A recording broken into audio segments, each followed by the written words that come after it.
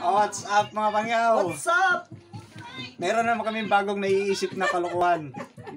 I-upload namin sa YouTube. Video kalokohan, walang katotohanan. Hindi Eh, na kumita video namin. kalokohan Lahat kasi. on the way na, madam. Ah, sir, eh, sabi mo may tatanong ka sa akin tungkol sa babae.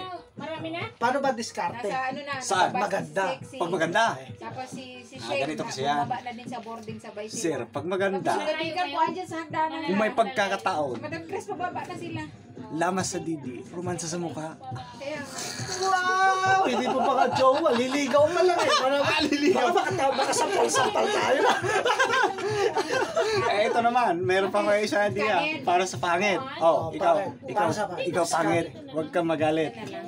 Nandito pa rin kami mga gwapo para sa iyo. sa pangit naman, ganito gagawin mo. Malupit to. Romansahin mo yung dibdib, lamas mo yung mukha.